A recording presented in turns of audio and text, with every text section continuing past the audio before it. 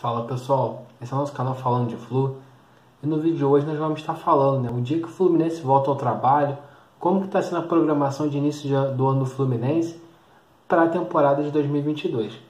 Então sem mais delongas, se você não é inscrito no canal ainda, se inscreve, dá essa moral Falando de Flu. Se nosso vídeo for bom, deixa seu like e compartilha no grupo do, do Fluminense. Nos ajuda a chegar mais longe, alcançar cada vez mais tricolores, dá essa moral Falando de Flu.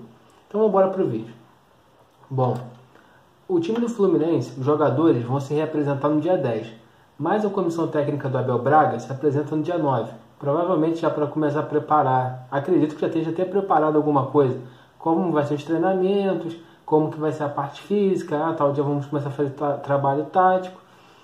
Mas os jogadores se apresentam no dia 10 para os famosos testes de pré-temporada. O cara faz exame fisiológico, peso, altura, exame do coração, para poder iniciar os trabalhos da temporada no dia 10. Então o Fluminense vai ter duas semanas, mais ou menos, pouco mais de duas semanas, para se preparar para estreia no Campeonato Carioca. O Fluminense que estreia no Campeonato Carioca contra o Bangu no dia 26. O Fluminense vai estar pegando o Bangu pelo Campeonato Carioca, dia 26 do, de janeiro. Então, se eles se apresentam dia 10, eles vão estrear dia 26, vai dar aí dia, dia 20, 16 dias de preparação até o jogo de estreia a tendência é que o Fluminense já comece a se preparar para ir com força máxima, porque precisa trabalhar a equipe que vai estrear na pré-Libertadores contra o Milionários já na última semana de fevereiro. Então, ou seja, do início da temporada ao primeiro jogo da Libertadores tem aí menos, um pouco menos de um mês.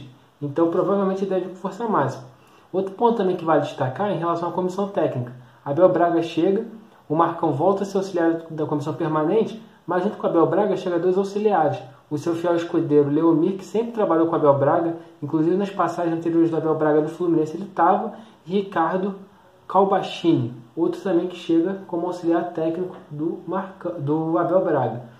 Uma coisa que eu estava dando uma olhada aqui, não sei se mudou, mas acredito que não mudou, é a questão do preparador de goleiros. Muitas pessoas criticam o preparador de goleiros do Fluminense, achando que talvez algumas coisas, algumas falhas do Marcos Felipe se atribuem ao trabalho do preparador de goleiros mas o André Carvalho continua como principal preparador de goleiros do Fluminense para a próxima temporada. O Marcão volta a se auxiliar, Ailton é auxiliar, então, ou seja, o Fluminense tem uma comissão técnica permanente, onde pouco se muda.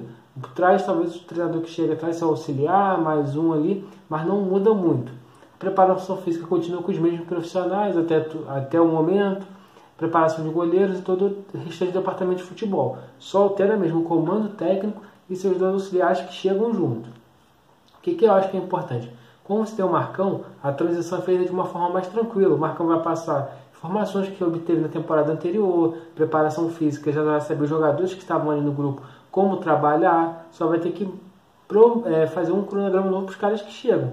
Isso também tem que ser rápido, porque quando você joga uma pré-Libertadores, você perde tanto tempo de preparação. Você já tem que logo e com a sua força máxima para poder ter um time minimamente competitivo lá em fevereiro. Então, pessoal, deixa aí. O que, que você espera do trabalho do Abel Braga para essa temporada? O que, que você acha como que vai ser? Então, pessoal, esse é o vídeo de hoje, um vídeo de informações, curiosidades de como vai ser o início da temporada do Fluminense. Se você gostou do vídeo, deixe seu like, compartilhe no grupo Tricolor e saudações tricolores e até a próxima.